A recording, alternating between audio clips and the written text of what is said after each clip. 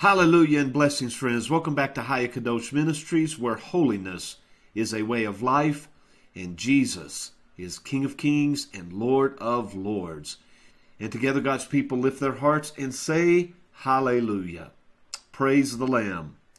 Well, friends, we're continuing our study in the book of First Enoch. Today we are in chapter 69, and we're going to make it to chapter 71, which means that we will finish the book of parables, remembering that First Enoch is broken into five segments, and the next segment that we'll step into will be the astronomical section of the book of First Enoch.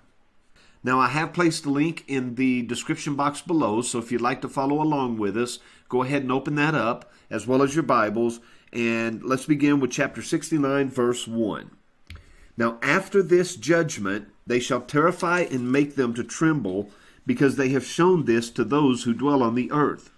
And behold, the names of those angels, and let me just say here, I'm probably going to butcher many of these names, but if you're following along with us, you'll understand why. Now, the names of those angels, and these are their names. The first of them is Simjaza. The second Artikapha, and the third Armon, the fourth Kokabel, the fifth Turiel, the sixth Rumgel, the seventh Dangel, the eighth Nekiel, the ninth Barakel, the tenth Azazel, the eleventh Armoros, the twelfth Bardagel, the thirteenth Basusagel, the fourteenth Hananel, the fifteenth Turel, and the sixteenth Sympaziel, the seventeenth Jetrel, the eighteenth Tumael, the nineteenth Turel, the twentieth Rumael, the twenty-first Azazel. And these are the chiefs of their angels, and their names, and their chief ones over hundreds, and over fifties, and over tens. The name of the first, Jachan, that is the one who led astray all the sons of God and brought them down to the earth and led them astray through the daughters of men. And the second was named Asbeel. He imparted to the holy ones of God evil counsel and led them astray so that they defiled their bodies with the daughters of men. The third was named Gadriel. He it is who showed the children of men all the blows of death and he led astray Eve, and showed the weapons of death to the sons of men, the shield, and the coat of mail, and the sword for battle, and all the weapons of death to the children of men. And from his hand they have proceeded against those who dwell on the earth from that day and forevermore. And the fourth was named Pename. He taught the children of men the bitter and the sweet, and he taught them all the secrets of their wisdom and he instructed mankind in writing with ink and paper, and thereby many sinned from eternity to eternity and until this day. For men were not created for such a purpose, to give confirmation to their good faith with pen and ink. Do you remember when Jesus said, Let your yes be yes and your no be no? Be very careful about entering into signed covenants with people. It's better not to make an oath at all than to make an oath and break it. Now, I know that the Bible indicates that's an oath to God, but the principle is the same. We are to keep our words when we give it, and it seems to be that's what this is alluding to. Men were not created for such a purpose to give confirmation to their good faith with pen and ink. For men were created exactly like the angels, to the intent that they should continue pure and righteous. And death, which destroys everything, could not have taken hold of them but through this their knowledge they are perishing, and through this power it is consuming me. And the fifth was named Kazdajah. This is he who showed the children of men all the wicked smitings of spirits and demons, and the smitings of the embryo in the womb, that it may pass away. This seems to be referring to abortion. So it says, He taught men how to smite the embryo in the womb that it may pass away, and the smiting of the soul, the bites of the serpent, and the smitings which befall through the noontide heat, the son of the serpent named Tabot. And this is the task of Casbiel, the chief of the oath which he showed to the holy ones when he dwelt high above in glory, and its name is Bika. This angel requested Michael to show him the hidden name. Could that be the name of God? the unpronounceable name, YHWH, this angel requested Michael to show him that hidden name that he might enunciate it in the oath, so that those might quake before that name and oath who revealed all that was in secret to the children of men. And this is the power of this oath, for it is powerful and strong, and he placed this oath, a K, in the hand of Michael. And these are the secrets of this oath, and they are strong through his oath. And the heaven was suspended before the world was created, and forever. And through it the earth was founded upon the water. And from the secret recesses of the mountains come beautiful waters, from the creation of the world and unto eternity. And through that oath the sea was created. And as its foundation he set for it the sand against the time of its anger. And it dare not pass beyond it from the creation of the world unto eternity. And through that oath are the depths made fast, and abide and stir not from their place from eternity to eternity. And through that oath the sun and moon complete their course, and deviate not from their ordinance from eternity to eternity. And through that oath the stars complete their course, and he calls them by their names. Remember Psalm 147 4? He has named the stars. And they answer him from eternity to eternity. In like manner, the spirits of the water and of the winds and of all zephyrs or gentle winds, and their paths from all the quarters of the winds. And there are preserved the voices of the thunder, and the light of the lightnings, and there are preserved the chambers of the hell, and the chambers of the hoarfrost, and the chambers of the mist, and the chambers of the rain and the dew. And all these believe and give thanks before the Lord of spirits and glorify him with all their power, and their food is in every act of thanksgiving. They thank and glorify and extol the name of the Lord of spirits forever and ever. And this oath is mighty over them. And through it they are preserved, and their paths are preserved, and their course is not destroyed. And there was great joy amongst them, and they blessed and glorified and extolled, because the name of that Son of Man had been revealed unto them. And he sat on the throne of his glory, and the sum of judgment was given unto the Son of Man. And he caused the sinners to pass away and be destroyed from off the face of the earth. And those who have led the world astray with chains shall they be bound. This is speaking to the fallen angels and in their assemblage place of destruction shall they be imprisoned, and all their works vanish from the face of the earth. And from henceforth there shall be nothing corruptible, for that Son of Man has appeared, and has seated himself on the throne of his glory. And all evil shall pass away before his face. And the word of that Son of Man shall go forth and be strong before the Lord of spirits. This is the third parable of Enoch. Chapter 70. And it came to pass after this that his name during his lifetime was raised aloft to that Son of Man and to the Lord of spirits from amongst those who dwell on the earth. And he was raised aloft on the chariots of the Spirit, and his name vanished among them. This is also told to us in Genesis 5:24 when it says, Enoch walked with God, he was not, for God took him. And that's what this is talking about here. From that day I was no longer numbered amongst them, the people of the earth. And he set me between the two winds, between the north and the west, where the angels took the cords to measure for me the place for the elect and righteous. And there I saw the first fathers and the righteous who from the beginning dwell in that place. Chapter 71. And it came to pass after this that my spirit was translated and it ascended into the heavens. And I saw the holy sons of God. They were stepping on flames of fire. Their garments were white, and their raiment, and their faces shone like snow. And I saw two streams of fire, and the light of that fire shone like hyacinth. And I fell on my face before the Lord of spirits. And the angel Michael, one of the archangels, seized me by my right hand and lifted me up and led me forth into all the secrets.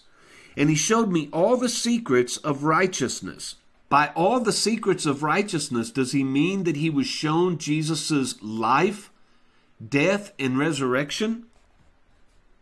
He says in verse 4 He showed me all the secrets of the ends of the heaven, and all the chambers of all the stars and of all the luminaries, whence they proceed before the face of the holy ones. And he translated my spirit into the heaven of heavens. And I saw there as it were a structure built of crystals, and between those crystals tongues of living fire. And my spirit saw the girdle which girt that house of fire, and on its four sides were streams full of living fire, and they girt that house. And round about were seraphim, cherubic, and ophanim, and these are they who sleep not and guard the throne of his glory.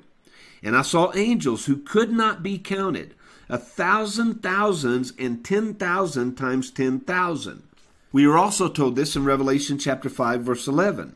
I saw thousands, thousands, and ten thousand times ten thousand encircling that house. And Michael, and Raphael, and Gabriel, and Phanuel, and the holy angels who are above the heavens go in and out of that house. And they came forth from that house. And Michael, and Gabriel, Raphael, and Phanuel, and many holy angels without number. And with them the head of days, his head white and pure as wool, and his raiment indescribable and I fell on my face, and my whole body became relaxed, and my spirit was transfigured. And I cried with a loud voice with the spirit of power, and blessed and glorified and extolled. And these blessings which went forth out of my mouth were well pleasing before that head of days. And that head of days came with Michael and Gabriel, Raphael and Phanuel, thousands and ten thousands of angels without number now, this ends verse 13, and before we pick up in verse 14, it says that there is a lost passage wherein the Son of Man was described as accompanying the head of days, and Enoch asked one of the angels concerning the Son of Man as to who he was. And so the answer seems to appear in verse 14. And he, the angel, came to me and greeted me with his voice and said unto me, This is the Son of Man who is born unto righteousness and righteousness abides over him, and the righteousness of the head of days forsakes him not. And he said unto me, He proclaims unto thee peace in the name of the world to come. That would be the new heavens and the new earth. For from hence has proceeded peace since the creation of the world. And so shall it be unto thee for ever and for ever and ever. And all shall walk in his ways, since righteousness never forsaketh him. With him will be their dwelling places, and with him their heritage. And they shall not be separated from him forever and ever and ever. You see, the Bible tells us in 1 John chapter 4 that God is love. And the love of God is seen and manifested in the person of Jesus. For Jesus himself said, No greater love hath a man than that he laid down his life for his friends. And so he showed the greatest act of love by giving his life, laying down his life for us, his friends. And it says here in the book of First Enoch that we will not be separated from him forever and ever and ever. Well, in Romans chapter 8, verse 38, it says, I am persuaded that neither death, nor life, nor angels, nor principalities, nor powers, nor things present, nor things to come, nor height, nor depth, nor any other creature shall be able to separate us from the love of God, which is in Christ Jesus our Lord. And so Enoch is confirming that which we already know from the book of Romans. He says in verse 17, So there shall be length of days with that Son of Man, and the righteous shall have peace and an upright way, in the name of the Lord of spirits, forever and ever.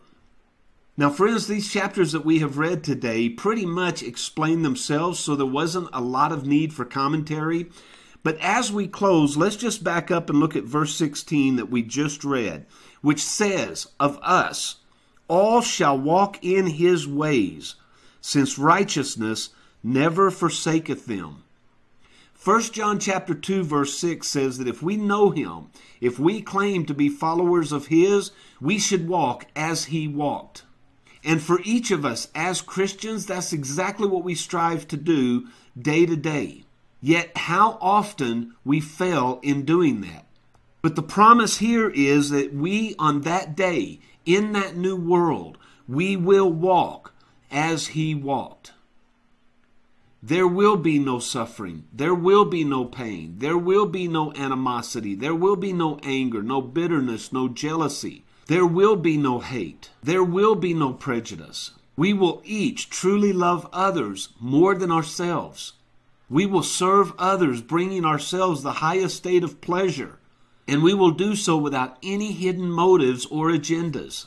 For we will truly walk as Jesus walked when he was upon this earth. And we will live that way throughout eternity. A man had a vision of the day when we all arrive in heaven.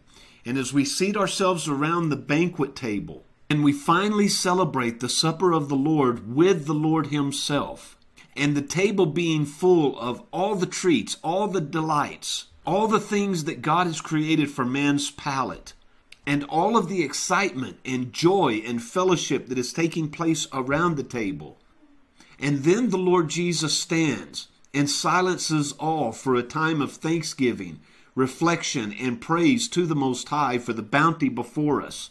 And as the Amen is said, and we begin to feast, we notice that we have utensils to eat with, but they are four feet in length. And so as we pick them up, there is no possible way that we can eat. And as many sit confused around the table, wondering how they're going to partake of this meal, of this feast, he notices out of the corner of his eye, further down the table, a single elderly woman that takes her spoon, dips it into the bowl, reaches across the table, and begins to feed the other person. And the point of this illustration is that it will not be about us. The whole intent of the kingdom of God is to love and serve others. That the greatest desire that we will have will be to serve others. And that, my friend, is what this life is all about. We are practicing for heaven. We are here to make ourselves ready for the kingdom. And the grand design is that He is fitting us for service. So let me leave you with this today, friends. Don't wait till then. Find someone to serve today and serve them with your whole heart, just as if you were serving the Lord Jesus Himself.